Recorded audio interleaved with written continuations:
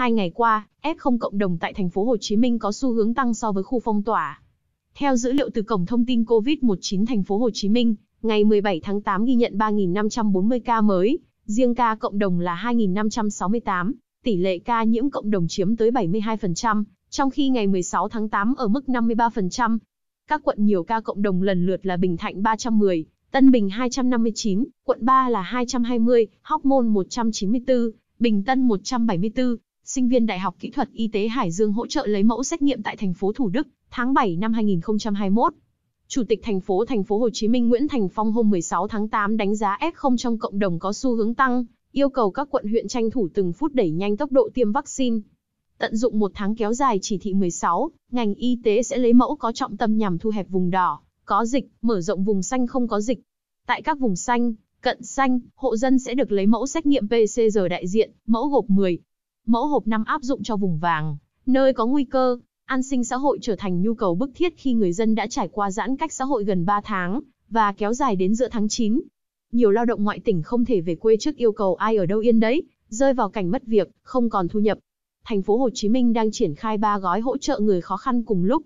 Ngoài gói 26.000 tỷ đồng hỗ trợ chung cả nước, thành phố có hai gói riêng với kinh phí gần 1.800 tỷ đồng, nhưng chưa đáp ứng đủ. Ngày 17 tháng 8, chính quyền thành phố đã kiến nghị chính phủ và các bộ ngành hỗ trợ gần 28.000 tỷ đồng và 142.000 tấn gạo để chi cho 4,7 triệu người khó khăn. Nếu được thông qua, 1,5 triệu hộ lao động nghèo sẽ nhận được tiền ăn 50.000 đồng một ngày, 1,5 triệu tiền phòng trọ một tháng và 15 kg gạo mỗi người. Ở phía Bắc, Hà Nội chỉ còn chưa đầy một tuần thực hiện chỉ thị 16 để tranh thủ khoanh vùng F0. Trong 24 giờ, thủ đô ghi nhận 60 ca nhiễm mới, trong đó 12 ca cộng đồng và 48 ca đã cách ly. Các tuyến phố lớn thủ đô vẫn đông phương tiện đi lại. Để tránh ùn ứ, hai ngày qua, 6 tổ liên ngành cắm chốt và tuần tra lưu động tại các đầu mối giao thông, tuyến phố chính. Trên phố Nguyễn Trí Thanh, cảnh sát giao thông, trật tự, hình sự lập chốt dài 50 mét kiểm tra giấy đi đường.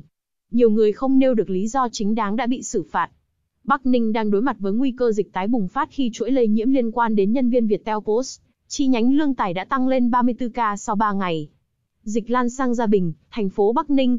Liên quan ổ dịch này, 23 cô trò trường tiểu học Võ Cường số 2, thành phố Bắc Ninh, đã phải đi cách ly tập trung. Bắc Ninh đã phong tỏa toàn huyện Lương Tài với hơn 107.000 dân từ hôm 15 tháng 8.